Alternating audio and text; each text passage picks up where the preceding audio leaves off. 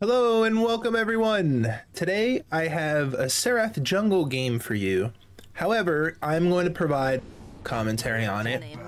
Um, I plan to go into my thought process and also I want to provide some general strategy to people who are not so experienced with Serath, who haven't gotten able to play this week, who are going to go against Serath this weekend. So I want to equip them with a little bit of knowledge so that they don't rage and get upset because this character has really inflamed some members of the community. A lot of people decry that she's overpowered. That remains to be seen. She might be, but because of Serath's kit and what she provides, you have to respect her in certain ways because if you felt like you weren't safe under towers before, Serath brings that feeling to a whole new level. It, it, it's pretty incredible what she can do diving towers. Uh, she's the best diver in the entire game, hands down. Nobody's better. Nobody comes close. Uh, but we'll get to that later. Right now, this ends up being a Serath jungle mirror. And I place a ward at the blue buff just to make sure the enemy jungler doesn't go from his red straight to my blue. I want to try to prevent that from happening.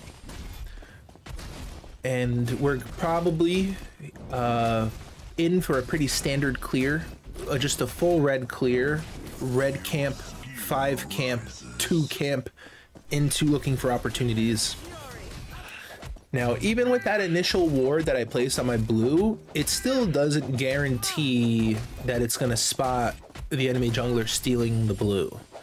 Because what can happen right now is the enemy jungler right now has just reached my three camp, which is the one by the wall in solo lane and I, as I'm making my way over to two, the ward is going to dissipate soon. Maybe in like the next 15 seconds, the ward's gonna go down, and then the timing of that is really unfortunate.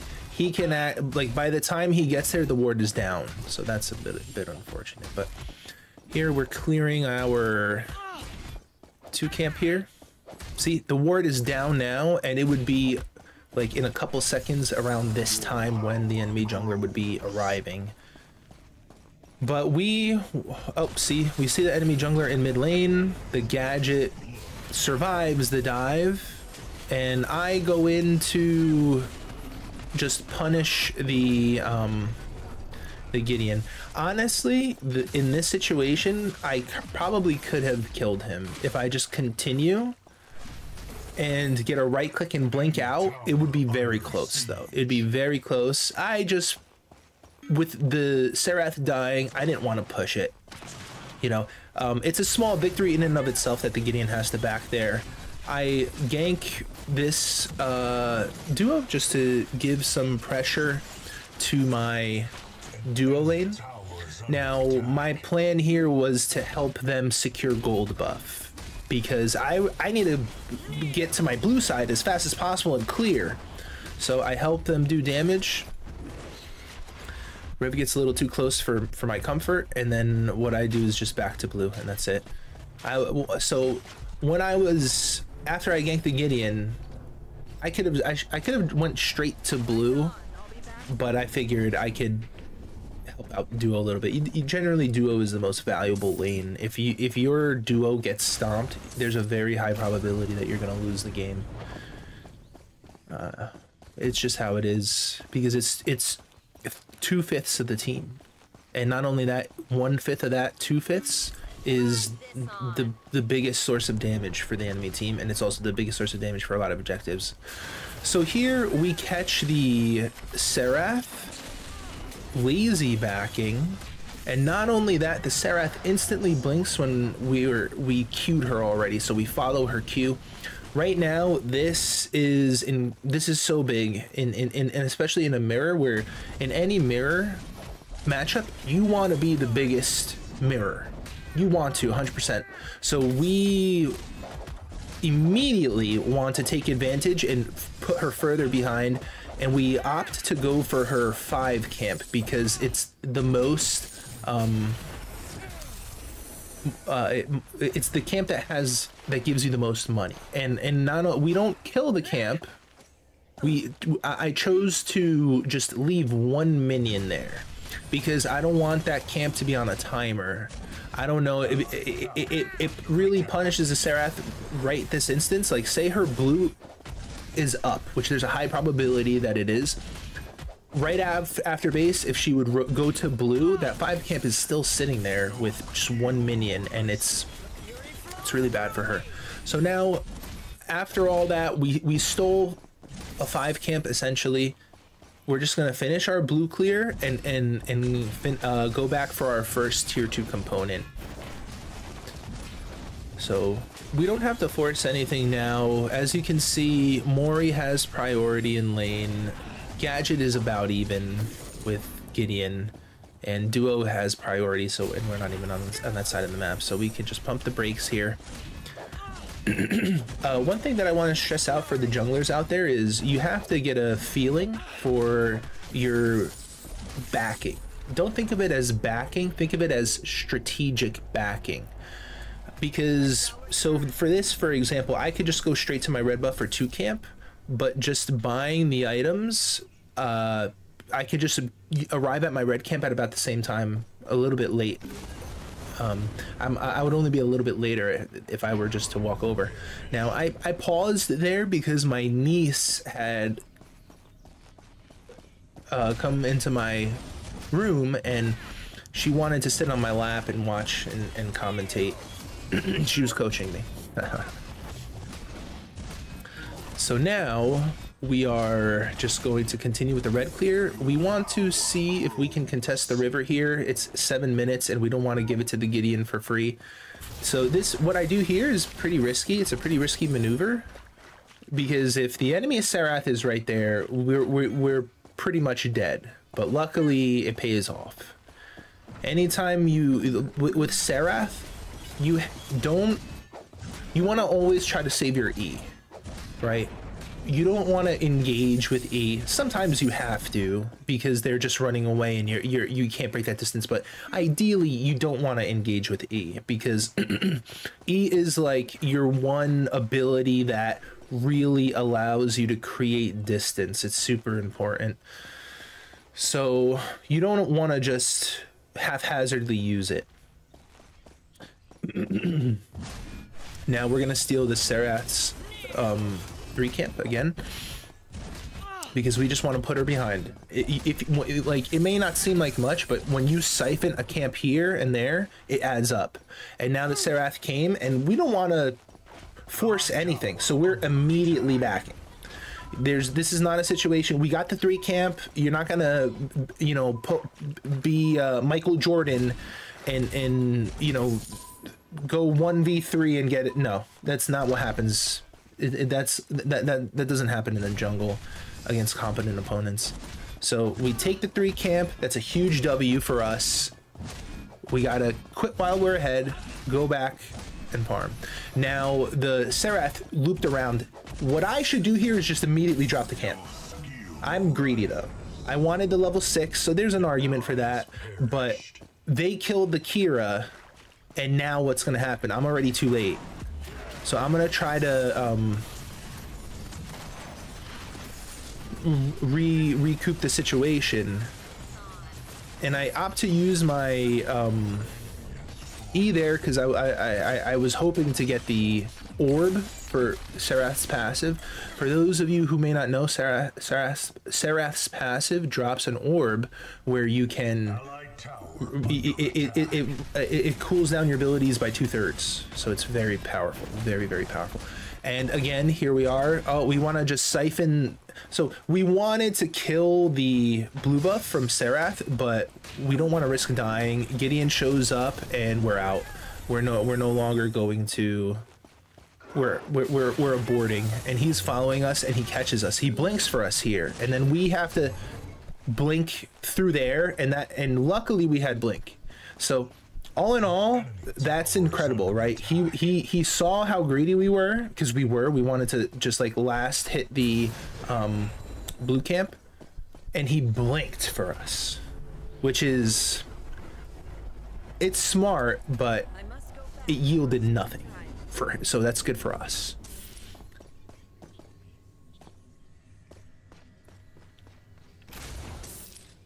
We opt to go Eviscerator this match because Eviscerator is just phenomenal. It's it, it's it, I didn't understand how good Eviscerator is in jungle until I played it on Serath, and one of the reasons is is because it you it has it's on a 30 second cooldown, so you can use it in the jungle often.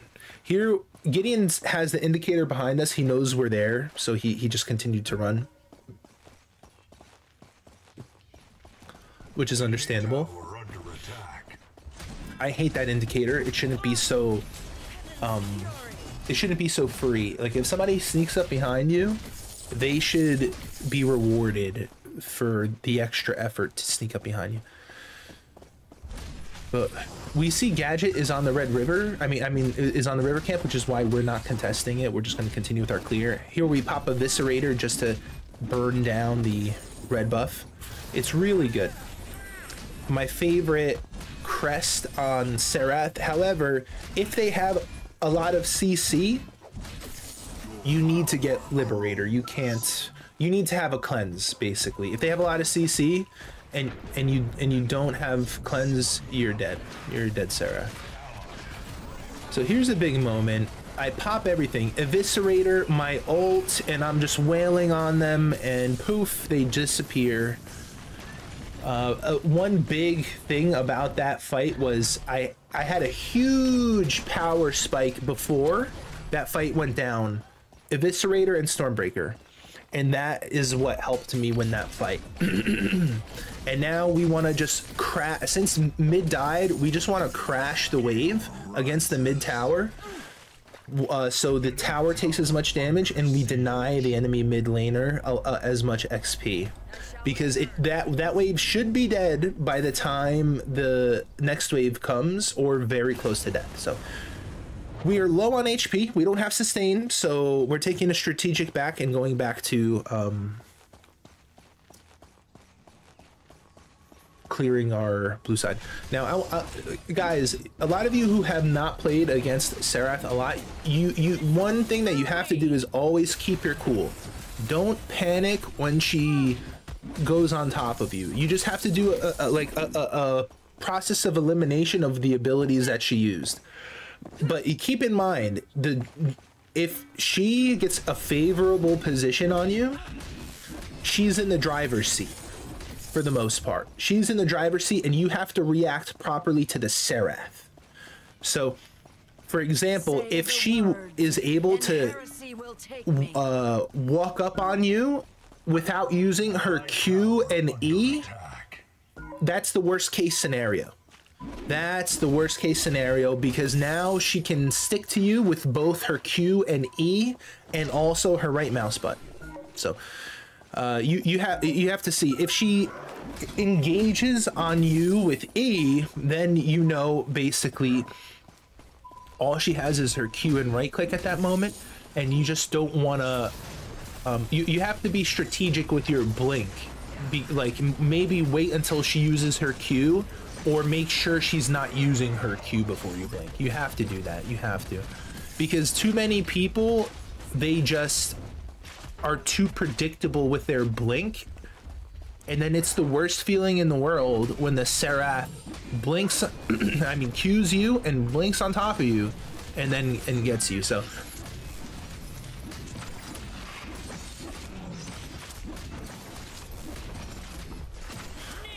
Here we secure uh, a, a, primal Fangtooth. So yeah, make make note of that. Um, now you might not even get away, even if you play it well and strategically. Keep that in mind. So, some people are, are running builds, move speed builds, and and builds with perforator, and you, this ca character Serath has makes really good use of move speed. So you may not even get away, truthfully, but you want to give yourself the best chance So, it- like, I mean, like, if she has a blink up and you have a blink up, and then you use a blink, and then she uses a blink, you're not, you're, you're, you're like, you likely never were able to get away. But think of it this way: try to think of, take the positives out of it. If you blink and then this enemy Serath blinks after you, you burned her blink. So there is some positive there because chances are, if they, if if um, she didn't burn her blink on you, she was going to burn it on one of your teammates. It sucks that it had to be you, but that that, that that's Dota. I'm sorry, I was going to say that's Dota. That's MOBAs. That's MOBAs. So my, my, niece came again, which is why I I paused there. So we see a, a fight going on, and it, it, it's a lost cause, um, maybe? Oh, no, they dive the tower, and they take a ton of damage. Mori does a really, really good job damaging them, and we don't want her death to be in vain. So here, the, I don't want to go in on the crunch, because the crunch hurts like a, a, a, a mofo. He's a, he, he, yeah, he, ouch. So I, want to create some distance because Crunch is scary. And Mori comes like a champion and just helps helps to uh helps me out. And then this guy blinks, but like I said, if Serath has a blink, you're toast. You're toast. And that's all that it takes really. He blinked, he did good, and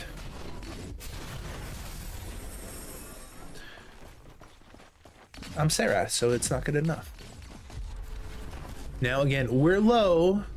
We have to try to like assume the enemy jungler saw us at low HP.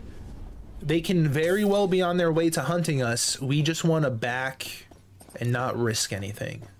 You any competent jungler is going to be constantly looking at the map, taking account of HPs, and if they see you at low HP going back into the jungle, they may just come pay you a visit because it's one of the most opportunistic times to visit the jungle, right? Okay, well, worst case scenario, if if they're there and the enemy collapses on me, at least the jungle is low, so I can maybe trade one for one. So it's it, it almost evens out, unless you have a bounty. But you always want to be taking um a, a mental note of everyone's HP bars as a jungler. And now that we have Stormbreaker and Sky Splitter, our jungle clear is lightning quick. This is the fact the, the Stormbreaker is the single most item to accelerate your jungle clear, and the second item that allows you to accelerate your jungle clear the quickest is Sky Splitter. So that's why I run those two because you basically sneeze on the jungle minions and they die. It's amazing. And then you couple that with Eviscerator, even quicker. Um, you, you with uh, minor objectives like Fangtooth and Mini Prime, you delete them. You can solo them easily. Just make sure you queue Mini Prime's uh, explosion, or even better, just step step out of it. Save your queue for for if you get collapsed on. So here we want the tower gold here. That's why we are pushing it locally. However, I make a fatal error here. So uh, the Serath engaged on me. And basically, in, in a mirror, you really want to be the one to use your abilities first. Because consider it from this perspective. The Serath used her Q on me. That means if I use my Q on her immediately after, her Q is going to come off cooldown first. So um, I overstayed my welcome. What I should have done there was retreat quicker. The tower gold is all fine and dandy, but it was not worth giving up a eight kill streak bounty. Not not a good look, especially to the revenant. So very big error on our part there, unfortunately. But we're gonna try to just keep cool, maintain our composure, and just focus on the task at hand. You know, um, it, it's easier said than done. I I often lose my cool too, but the the more you can remain calm and focused, the the better you'll play. The the the, the less uh, emotion will cloud your judgment and your interpretation of the events in real time. You want to be cool as a cucumber.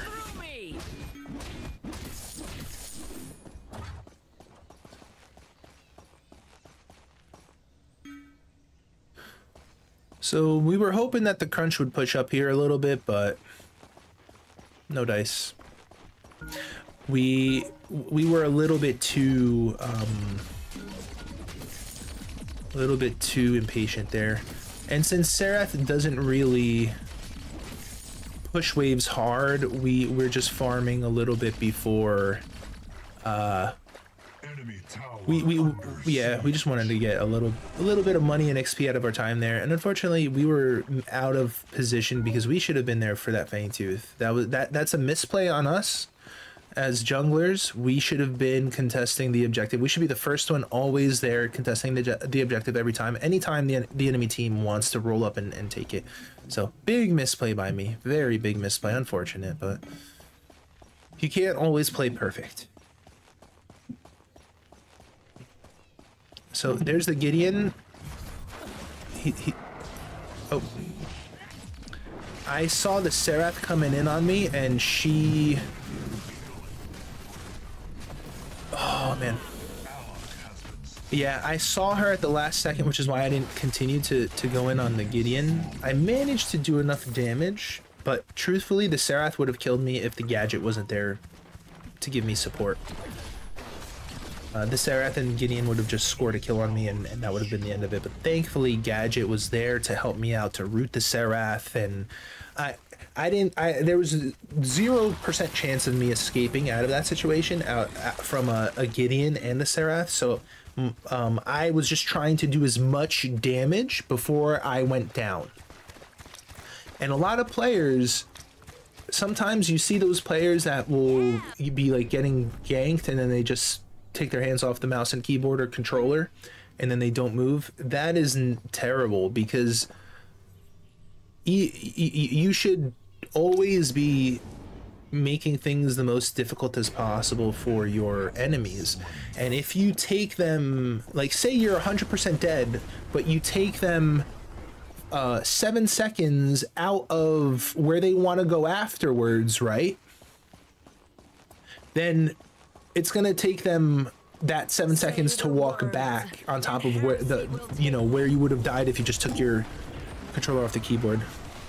So here we have a counter gank and we were closer to muriel so we wanted to get some damage on the muriel. There's no chance we're letting that serath get away.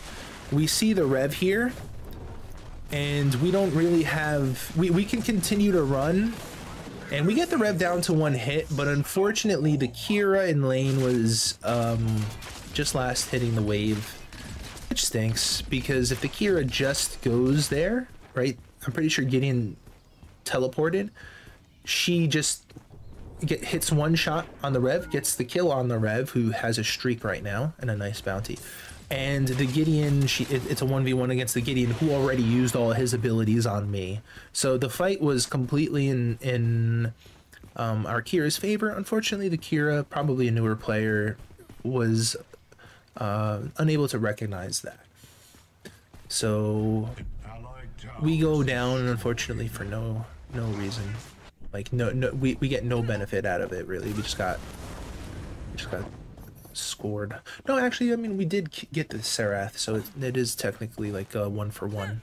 I don't know if they got anybody else on our team mid, though. So here, Pop Eviscerator, delete red buff.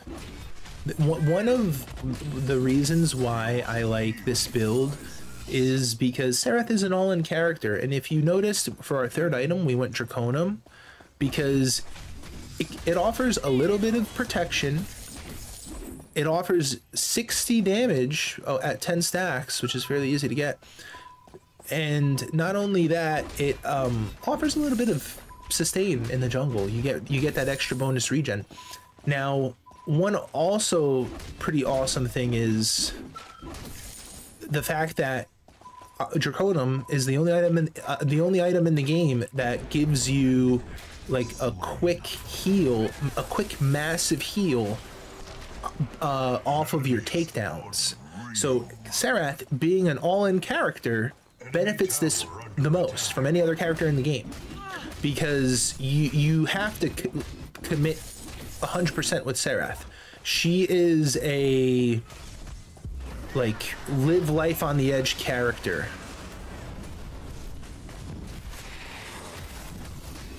So we see the Mori trying to um,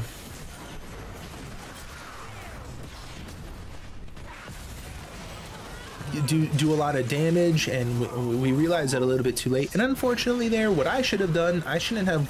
When I eat I shouldn't have tried to go back in on the Rev. I should have tried to disengage. It would have helped. And then my team, I'm so proud of my team. And this Mori kicked butt. Like this Mori really kicked butt. Just surviving, surviving, surviving, and allowing the Kira to to, to, to get that phenomenal play by by my team there.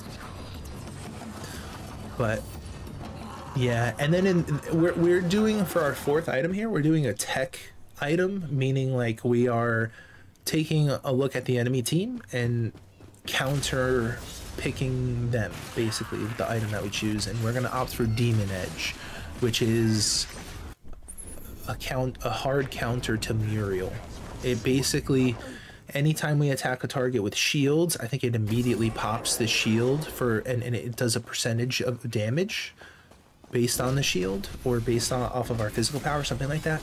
And it also gives us a move speed boost. So this is it, it's an option that is great against Muriels. If you have a Muriel and Riktor on the enemy team, oh, even more. Muriel, Riktor, Steel, oh yeah, you definitely want Demon Edge. Demon Edge is going to pay dividends.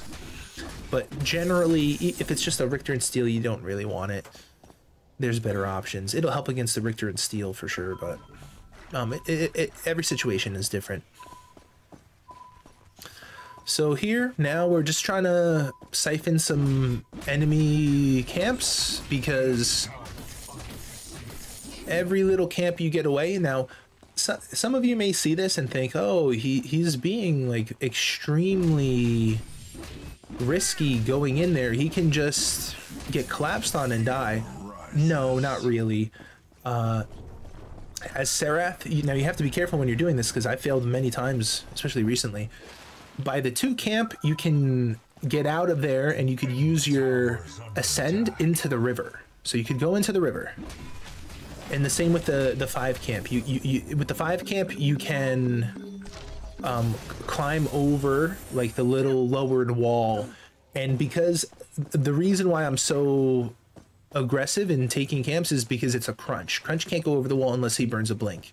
And if he burns a blink, then he burns a blink. What can you do about that? It's it, it, you you know, you just have to fight at that point. But if he really wants to burn a blink for just the chance of possibly getting you, then he then that's his choice.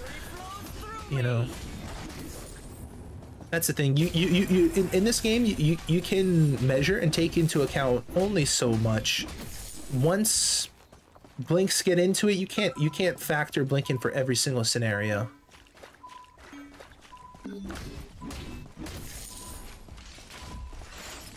So, in that situation, you saw me hit the ward before ganking. Now, the reason why I did that is because they still have the tier 1 tower up.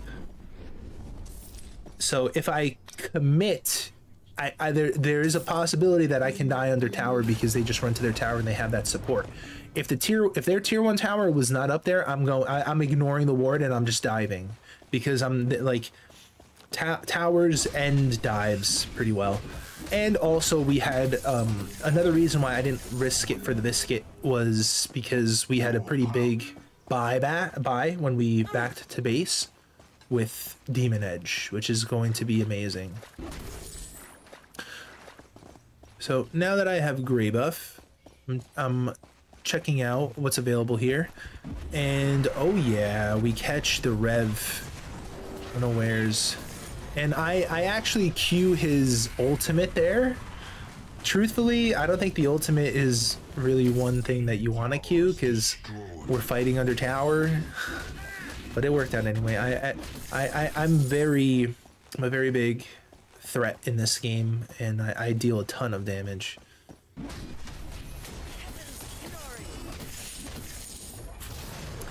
So I don't know how many camps the enemy jungler siphoned from me, but I've already siphoned so many, so, so, so, so many from him. And it shows on the scoreboard. That's one thing that is pretty devastating. If you're playing jungle and, and the opposing jungler keeps siphoning camps from you, it's it adds up. It, it, it, it's indicative that you that your your team is behind because it shouldn't happen. So nice Mori go Mori just being Mori. And now I'm going in on the Muriel. Like anytime you catch the Muriel, you want to punish. And then I, I, I see that they're kind of um, falling apart here.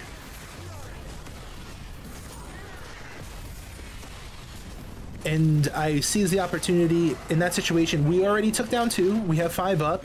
I go for the blink there to get to try to get the third, which we confirm, and now that's going to result in Orb Prime and quite possibly the game.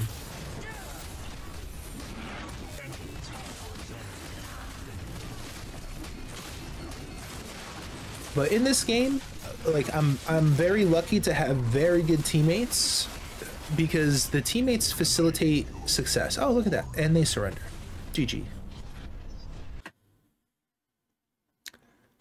So my recording got cut off for my outro, but I'll just summarize.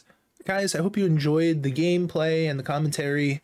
I will create guides for jungle players soon, and maybe other roles if you guys are interested and I'll go into the finer details of when to level 2 gank, which is most of the time you don't want to, and also some other finer jungle details like with Crunch, why when you're level 5 you should try to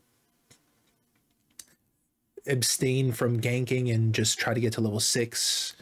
I mean, it's pretty obvious, right? The the character changes once he's level 6 and the gank potential of level 5 is pathetic compared to level 6 but many many things like that i'm going to share with you guys. We're going to share our knowledge help each other out improve each other and help to elevate each other's game to be the best pred players that we can be.